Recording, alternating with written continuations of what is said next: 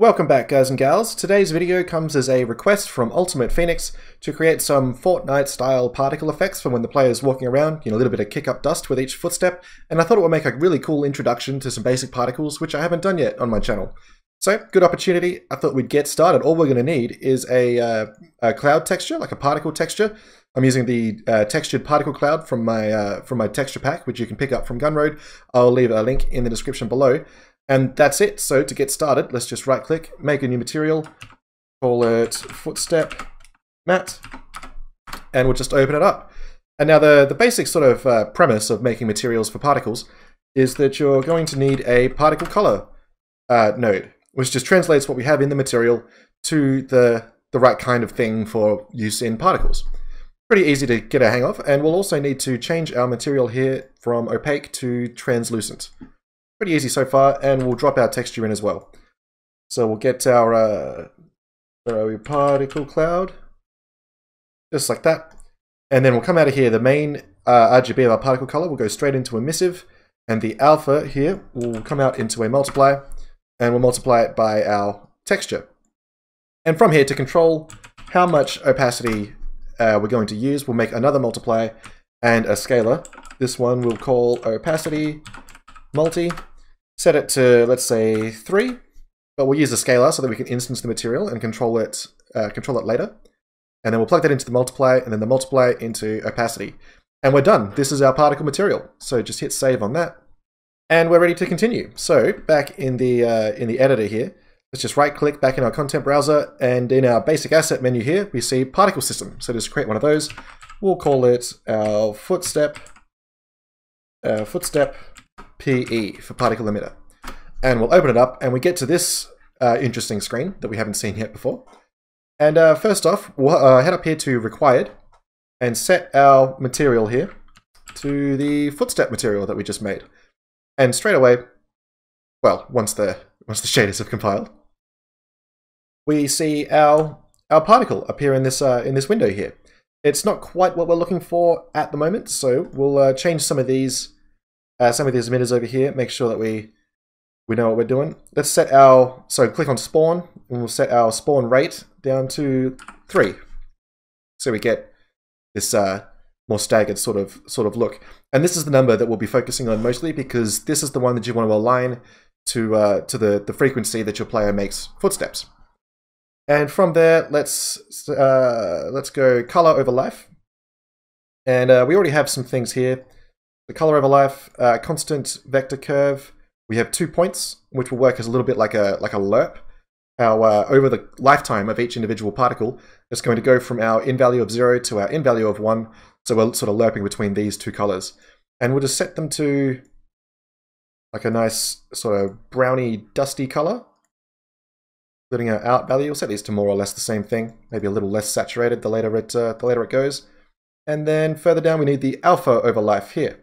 So we got same as uh, same as up above. We have an in value and an out value.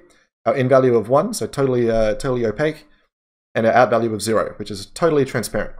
We don't we shouldn't really have to affect that. We can see it sort of fade out here in the in the preview. Just trying to adjust here.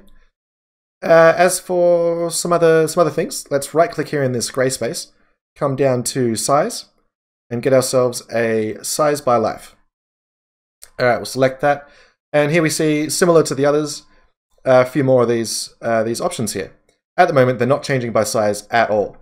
So let's uh, let's affect that. We'll change the out value of our zero to two, and you see now they're shrinking over time because our out value at the one point is uh, is just one. So we'll set that up to something higher, like seven. So it's going to kind of kind of expand as the as the time passes. And that's more or less all that we have to do, but there's lots that you can tweak in here, lots of different things that you can play with. Uh, for the meantime though, for the sake of this video, we'll just hit save and we'll head back to the editor. So we'll head up here to our world settings, go to our game mode, we'll find our default pawn class with a little magnifying glass to find it in the content browser, and we'll open this guy up. Which will get us uh, here, this uh, familiar sort of you know, blueprint graph for our player, and we'll add ourselves a new component. This one will be a particle system. We'll just uh, leave it called particle system.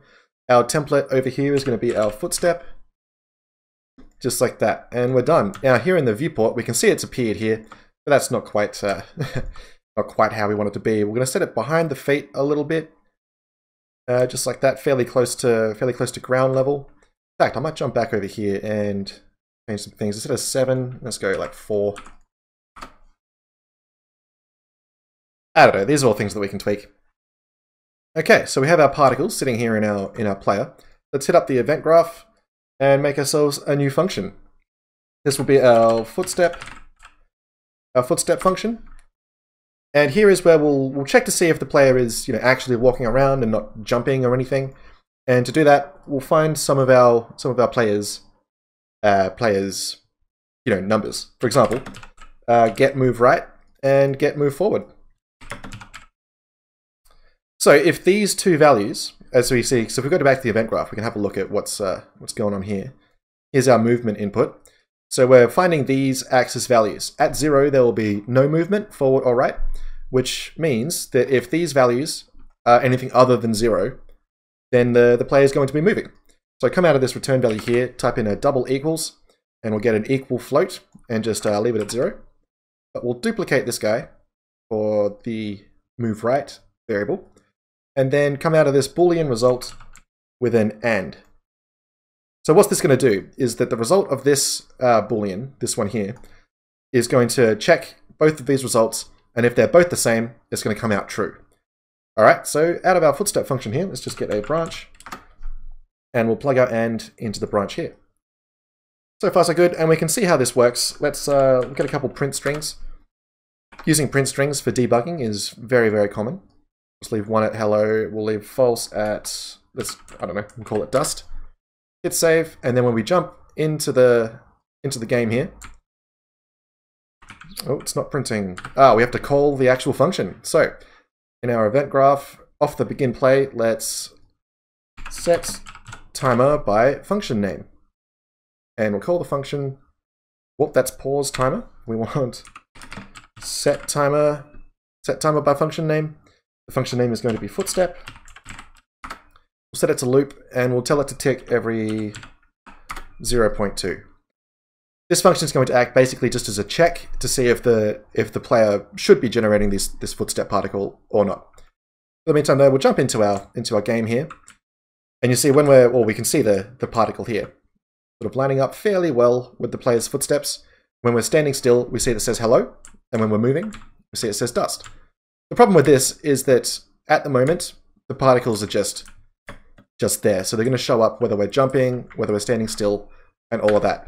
But these print strings here are showing us the functionality of this branch and these checks that we're making.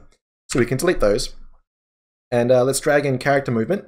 So after we've found out whether the player is moving or not, like actually getting the, the, the move right, move forward inputs, we need to find out if the player is jumping. First of all, let's get, uh, we'll get is falling. This will just get a boolean check to see if the player is, is you know, falling off an edge or something. And we'll also need our jump, uh, jump z velocity.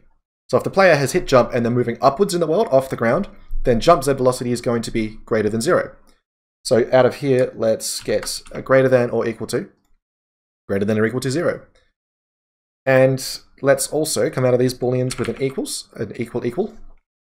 So if this if this boolean equals equals true, like if it is falling, in other words, and if the jump z velocity is greater than zero, in other words, if the player is jumping, then we will uh, get our second check. So let's feed these into another AND, just like that, and then another branch. You can hold in B and click for a branch. We'll plug in the result of this little tree into our second branch, and then our false into this branch, and that pretty much wraps up our our code. Next, uh, let's select our particle system on the left here and make sure that it is disabled by default. Well, that's not what we want. We want uh, auto activate. So turn off auto activation. So it is deactive by default. And then drag your particle system into the graph and out of this blue uh, little uh, output node here, we'll get deactivate and activate. All right, so far so good. So if the player is moving, if it is moving around, we want our dust to be deactivated. And if the player is jumping, then we also want it to be deactive. Deactivated, rather. But if both of those results are false, then we get our dust. All right, so hit compile and then save, jump back into the editor, and there we have it. We're now producing dust with each, foot, with each footstep. When we're standing still, uh, there's, there's nothing. When we jump, there's nothing. I can run and jump and they stop. Got up on here. But running around, we have, we have dust. But when we jump, no dust. And when we stand still, no dust. So that's uh, about it for functionality. We uh, so we can we can tweak these things. This uh, this set timer by function name. I mean, this function is really it's just a check. We're just checking whether the player is moving or whether the player is jumping or falling. And if if neither of those things are true, then we get to activate our our dust particle. And back in our particle emitter here, if we go to spawn, it's this constant here, this spawn rate, which is going to dictate how often the, the particle appears in the world. So this is the number that you want to line up with the frequency that your player is making footsteps. I hope that all makes sense. And our material here is uh, pretty straightforward, pretty easy to understand. Other than that, I think we're about done with this video, guys. So, a special thanks to Ultimate Phoenix for making this request. I noticed that you requested twice, man, so sorry I didn't uh, didn't address this one sooner. But uh, I hope this helps you. I hope this helps. I hope this helps anyone. And I'll see you guys in the next video. One more thing before I go, if you would like to see me cover something on my channel, if you'd like to make your own requests or just, uh, you know, hang out, have a chat, if you've got some problems in your own project and you might, might like a, another perspective, feel free to drop by my Discord where I'm lurking almost all the time. And uh, we can have a chat, we can chill out, share some memes, share some music, have some fun. So, just thought I'd remind you guys that that is the, the first place that I'll look for, uh, for, for people's feedback and, and requests and that kind of thing. So, I look forward to hanging out with you guys. Catch you in the next one.